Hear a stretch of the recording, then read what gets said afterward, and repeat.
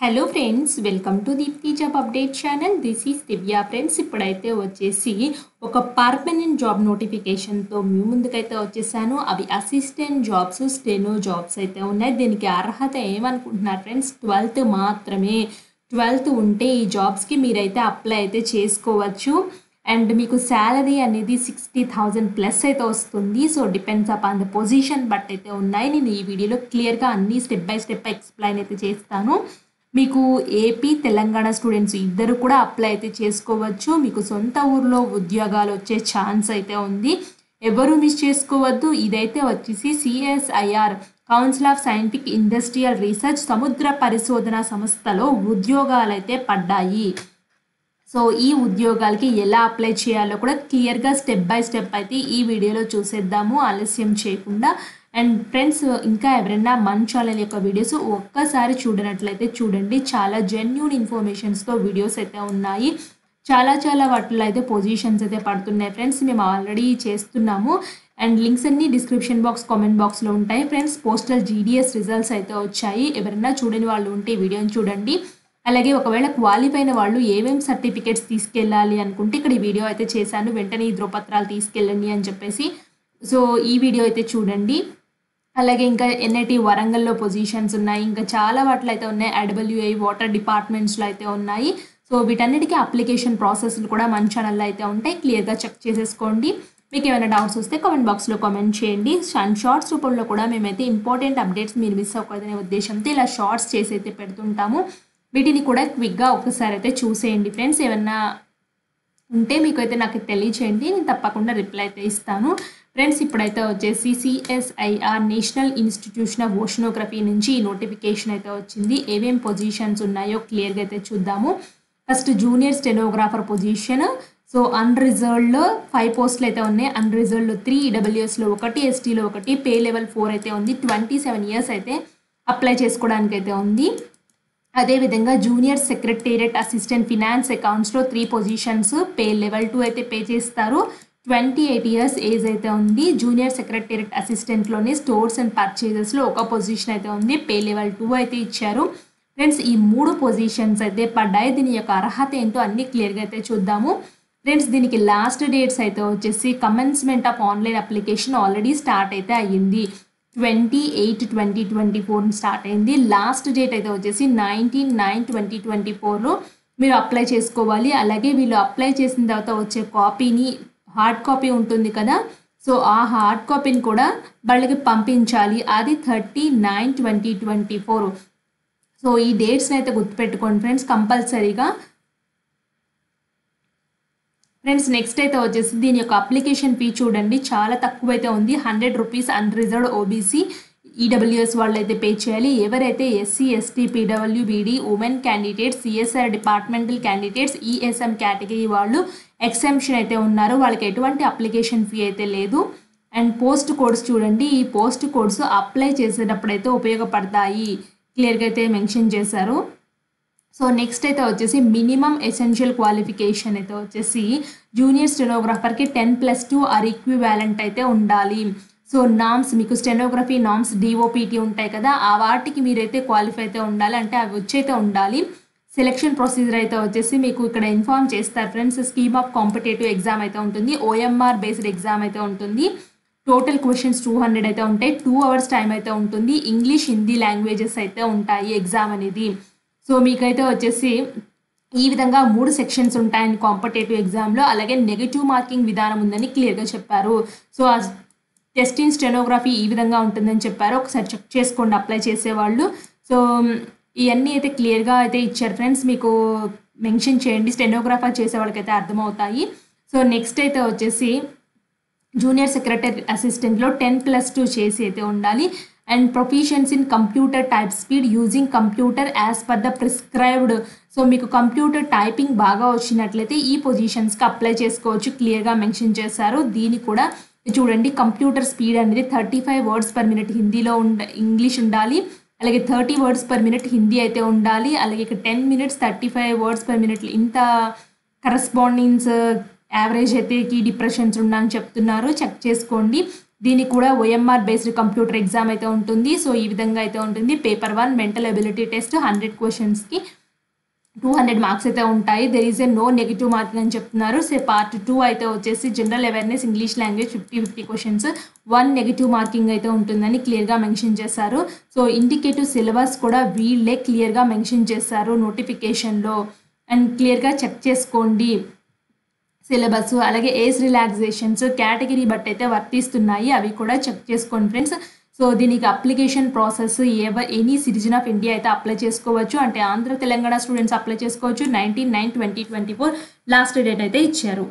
Friends దీనికి apply చేయడానికి link అయితే నేను ఓపెన్ చేశాను. ఇది అఫీషియల్ వెబ్సైట్లోనే అయితే ఇచ్చారు. సో నేను డిస్క్రిప్షన్ అయితే ప్రొవైడ్ అయితే చేస్తాను. Link and application process PDF apply PDF కూడా ఇస్తాను ఫ్రెండ్స్. ఇక్కడ చూడండి అన్ని డీటెయిల్స్ క్లియర్గా ఇక్కడే మెన్షన్ చేశారు.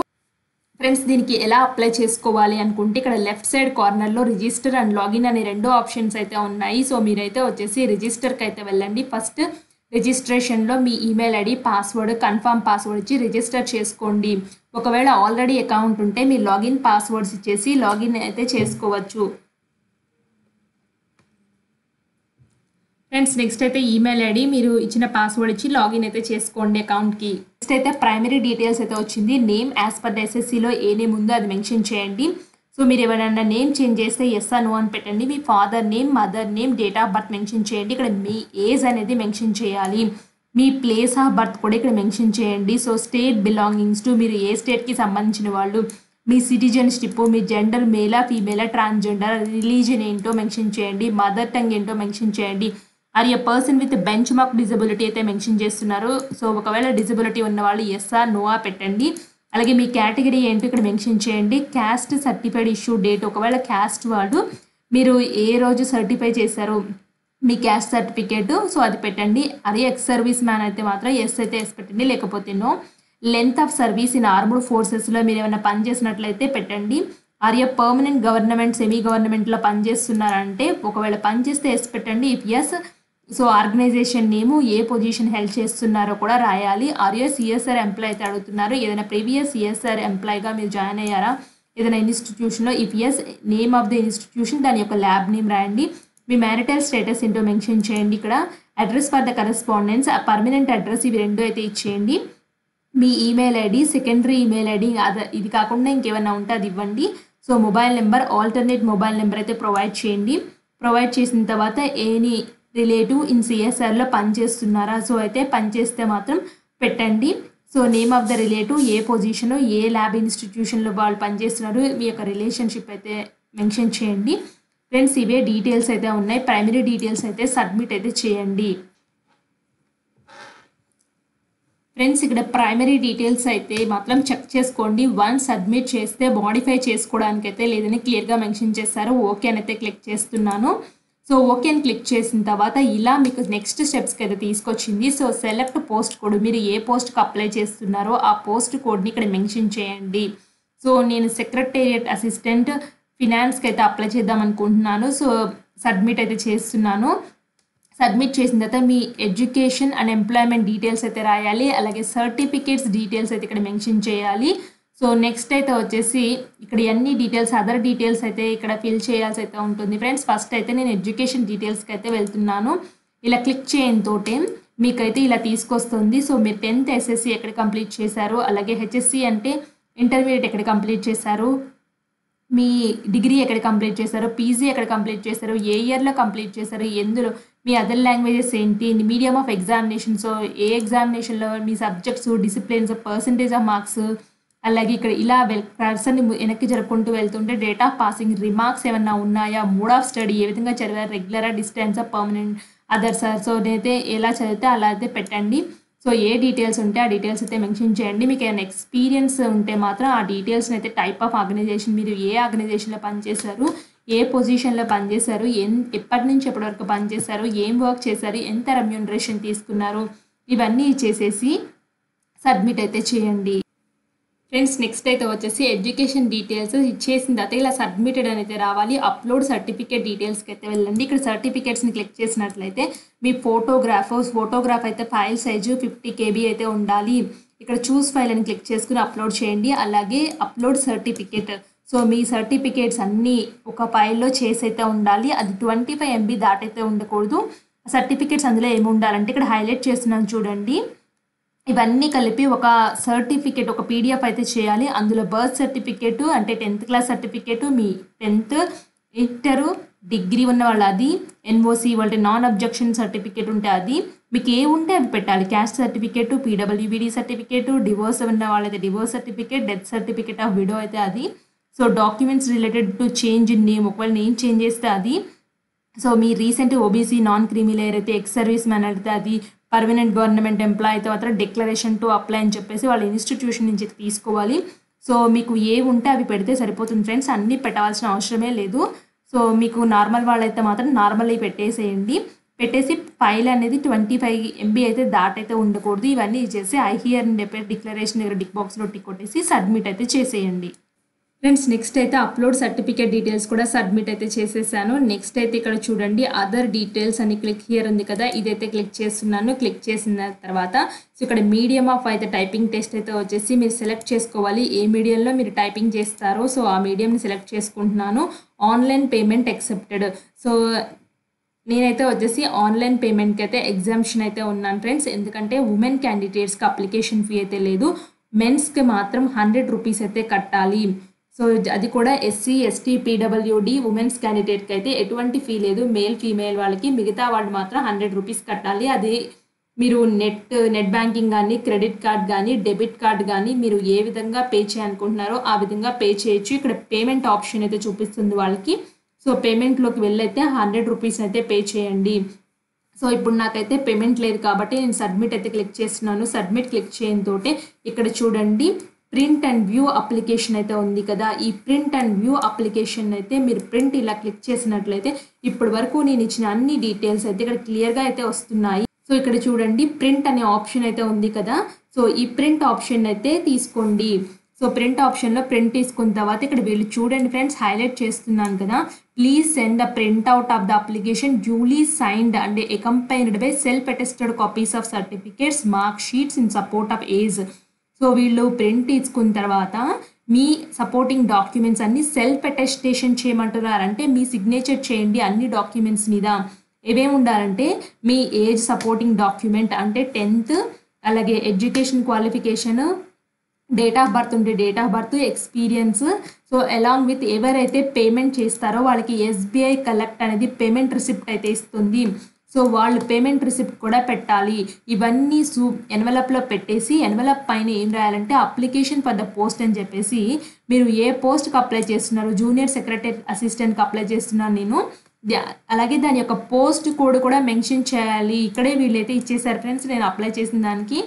సో మీరు కూడా ఏ పోస్ట్ కూడా అయితే వస్తుందో సో దాన్ని ఎన్వలప్ మీద రాసేసి speed or registered post to reach. So thirty nine twenty twenty four కల్లా వాళ్ళకి రీచ్ అవ్వాలి. ఏ పోస్ట్ అయితే ఆ పోస్ట్ స్పీడ్ పోస్టా రిజిస్టర్డ్ పోస్టా మీ ఇష్టం పోస్ట్ ఆఫీస్లో అయితే అడగండి. అడిగి వాళ్ళకైతే పంపించండి. ఏ అడ్రస్కి పంపించాలంటే the controller of administration CSIR national institution of oceanography Goa అయితే పంపించాలి. ఇది పిన్ కోడ్ అయితే ఇచ్చారు ఫ్రెండ్స్ ఈ అడ్రస్కి అయితే పంపించాల్సి అయితే ఉంటుంది మీరు. సో ఇది friends detail notification and application process and ఎలా హార్డ్ కాపీ సెండ్ చేయాలో చెప్పి కూడా క్లియర్గా ఎక్స్ప్లెయిన్ చేశాను. మీకు ఏమైనా డౌట్ ఉంటే కామెంట్ బాక్స్లో కామెంట్ చేయండి. నేను తప్పకుండా రిప్లై అయితే ఇస్తాను. అండ్ ఇలాంటి మరిన్ని జాబ్ అప్డేట్స్ కోసం అయితే వచ్చేసి మన ఛానల్ని సబ్స్క్రైబ్ చేయండి. థ్యాంక్స్ ఫర్ వాచింగ్ అండ్ మీ ఫ్రెండ్ సర్కిల్లో కూడా తెలియచేయండి ఫ్రెండ్స్ ఈ నోటిఫికేషన్స్ ఇలా పడ్డాయి పర్మనెంట్ జోడ్ నోటిఫికేషన్స్ అనేసి. ఫ్రెండ్స్ ఇంకొకటి ఏంటంటే ఈ ఇన్స్టిట్యూట్ అనేవి సో చాలా చాలా రీజనల్ సెంటర్స్లో ఉన్నాయి ఫ్రెండ్స్ ఇక్కడ చూడండి ఫాలోయింగ్ పోస్ట్ సిఎస్ఆర్ ఎన్ఐఓ అనేది Goa and its regional centres Mumbai Kochi విశాఖపట్నంలో అయితే ఉన్నాయి. సో అంటే మీరు సొంత రాష్ట్రంలో కూడా జాబ్ సంపాదించే అవకాశం అయితే ఉంది ఫ్రెండ్స్ వెంట మిస్ చేసుకోవద్దు. మీ ఫ్రెండ్ సర్కిల్లో either Facebook or WhatsApp Instagram స్టేటస్లో అయితే పెట్టుకోండి మన వీడియోని. సో ప్లీజ్ ఫ్రెండ్స్ మాకు సపోర్ట్ కూడా చేయండి మోటివేషన్ చేయండి ఫ్రెండ్స్ మీ లైక్స్ అండ్ సబ్స్క్రిప్షన్సే మాకు మోటివేషన్ థ్యాంక్స్ ఫర్ వాచింగ్